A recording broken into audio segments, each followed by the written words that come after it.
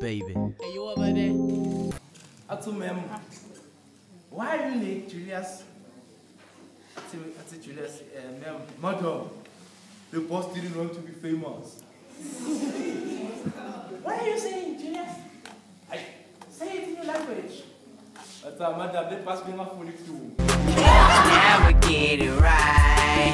And what we do is what they don't Got what they just can't touch. Come close and see the light. Got what it takes to make it so bright. And they never thought we might.